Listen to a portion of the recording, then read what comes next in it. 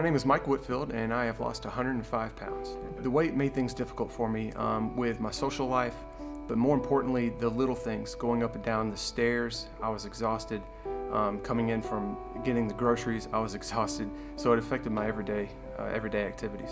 I definitely had trouble bending over to, to tie my shoes. Um, and it, that's what's funny is every time I had to go down and pick up something as well, it, it, was just exhausting, and I just got I got to a point where I got sick of it. It affected my life socially. Um, I was embarrassed more than anything because uh, that's why I was wearing clothes that were much bigger than, than what I needed to wear because I was really just ashamed of, of where I was. Uh, my social life now is fantastic. Um, as a matter of fact, I just got back from San Diego from a trainer summit and uh, it was a lot of fun and obviously I have a lot more confidence now when I saw people that I haven't seen in a while, it was, I can't even explain it. Um, the looks of the jaws dropping to the ground, it was just an amazing feeling.